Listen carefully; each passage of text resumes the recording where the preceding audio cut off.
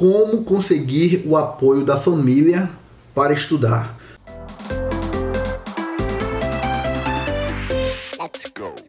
Muita gente estuda, mas não tem um apoio de dentro de casa. Ou os pais não entendem que você está estudando, ou a esposa, ou o marido não entende. E enquanto você estuda, a pessoa fica pedindo para você fazer outras coisas, ou não ajuda, não contribui, fica aquele barulho dentro de casa. Quando você diz que vai estudar, as pessoas simplesmente ignoram.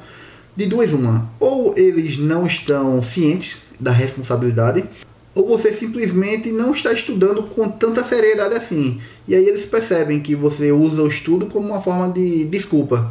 Ah, quando é para fazer alguma atividade dentro de casa, quando é para ajudar, você diz que está estudando. E aí a sua família acaba criando uma sina né, contra, contra os estudos e, e não, não acreditando em você e não ajudando, porque não veem aquilo como algo que é realmente concreto, algo que é próximo, algo que é realizável ou não acredita em você, né? O que é que você pode fazer? Você tem que dividir esse sonho com as pessoas da sua casa, com as pessoas que deveriam acreditar em você.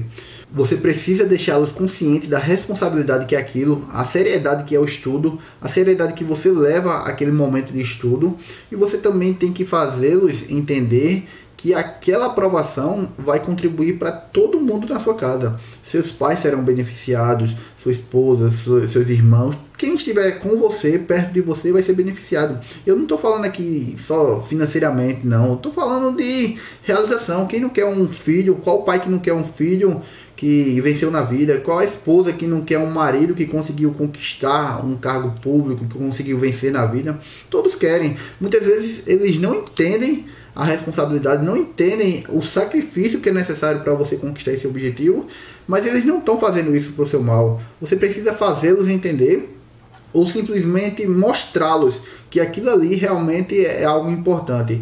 E às vezes você vai conseguir mostrar com resultados quando você começa a ter resultados, quando você começa a ficar bem colocado, bem classificado, e as pessoas começam a ver que aquilo ali é possível, ou simplesmente tentar conscientizar.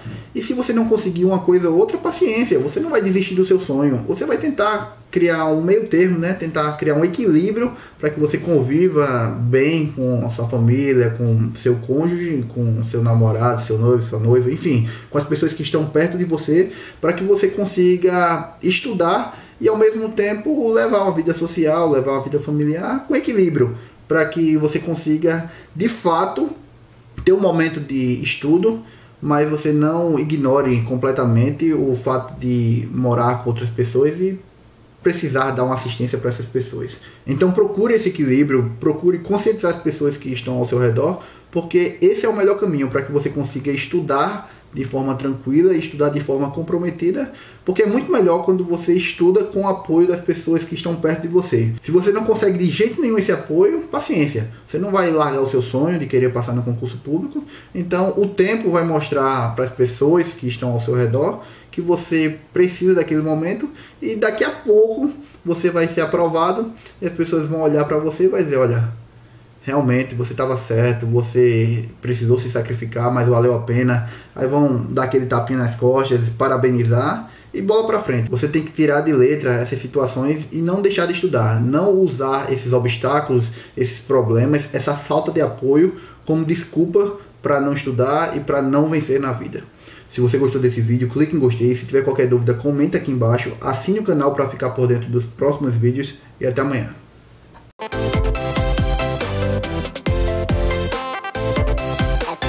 go. Let go. Let go.